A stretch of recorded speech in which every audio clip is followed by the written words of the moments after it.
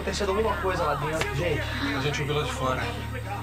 Será melhor a gente entrar? Vagabundo sem vergonha. Não, não, posso explicar. Eu posso explicar. Eu não fiz nada. Eu não fiz nada. Não, Pelo amor de Deus! Ai! não, não. Ai, ai, não, ai, que isso, isso. Solta meu pai! Seu que é isso? Tira esse maluco aqui. Filho da mãe. Pai, Não me quebra esse sujeito. para, pai. Que isso? Calma. Eu não fiz nada, senhor. É, olha só, é cinismo demais até pra um cafajeste. Me larga, me larga. Se mexe comigo, seu cabra. Vagabundo! Peraí, Capacete miserável! Chega, gente! Chega! Não vale o ar que respira! Chega! Agora vai cada um falar de uma vez. O que é que estava acontecendo aqui? Não foi de propósito, gente. Eu, eu entrei aqui como eu sempre faço, pra ver as coisas da Maria do Carmo, pra mexer nas coisas dela. Mas aí, eu gosto, gente, de ver as coisas bonitas que ela tem. Aí eu vi a camisola ali, deitei com a camisola, dormi e dormi. Deixa de ser mentiroso! Deitou, se cobriu, ia dormir até de manhã. Eu cheguei no quarto, meu Deus do céu, todo inocente, fui me deitar, achei que era pinho. Quando eu fui beijar e que eu vi que era esse safado, ele me agarrou. Não, porque Me você agarrou, começou a sim. gritar. Eu vou gritar mais ainda, seu desgraçado. Mas não vai gritar, Mas eu não sei mais o que fazer. Eu já dei tudo que esse homem pediu, já dei a pensão. Nossa separação tá em andamento. Tudo que o juiz mandou eu acatei, mas chega! Depois do que aconteceu aqui, não tem mais condição desse miserável continuar na minha casa. Fora daqui, Josvaldo, tá me entendendo? Fora daqui! Mas peraí, ele jurou que não foi de propósito, mãe. Também não é assim. Largue, gente. Não pode resolver as coisas Eu assim. não quero mais brigar, pelo amor de Deus. Eu não quero discutir por causa desse traste. Mas não tem mais condições de Josvaldo ficar aqui em casa. Tá na hora do seu pai, meu filho. Vê se você me entende. Sair e cuidar da vida dele. Rua, rua, tá me entendendo, Josvaldo? Rua!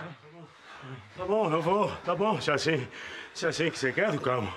Eu vou me embora, viu? Ótimo, ótimo. Eu vou cuidar do meu destino. Mas vai pra onde, Eu vou pai? procurar Lindalva. Quem sabe eu não posso ficar com ela na casa dela. É, meu filho, Lindalva, é mãe de vocês. Eu, eu vou agora mesmo, vou lá na casa do Reginaldo e vou mais a Viviane atrás da Lindalva. Dá licença.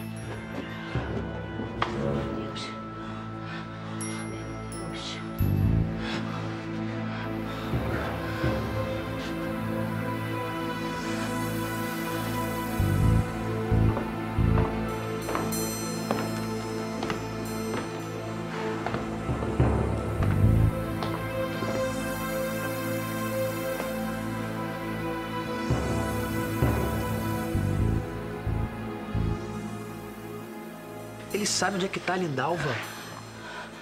Não. Mas ele falou com tanta certeza. Quem sabe ele descobriu alguma pista, não acha, vereador? Não, não, ele, ele não. é, Ele não sabe, né, mãe?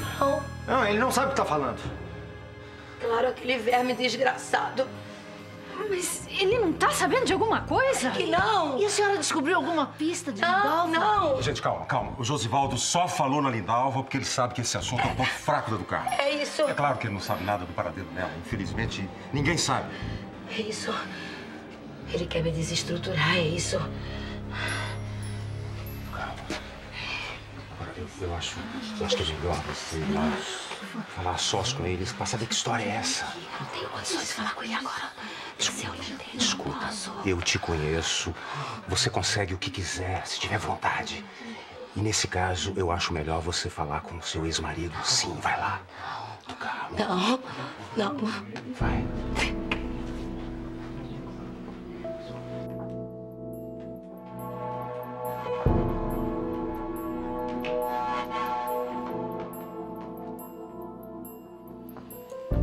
Estava aqui contando os minutos. Perguntando quanto tempo você ia demorar para vir aqui conversar comigo. Tá demorando, né? Já devia estar acostumada. É só a dona do carro entrar com alguém na sala íntima que a conversa demora. Ah, isso é verdade. O que será que tá acontecendo aqui dentro, hein? Pleno, o assunto é delicado. Afinal de contas, eles estão decidindo se o seu pai continua ou não aqui. Como diz a minha mãe, que situação, né? O pai sabe. Não sabe quem é a Lindalva nem onde ela tá. Mas é fácil chegar até lá. Eu nunca pensei que isso fosse acontecer.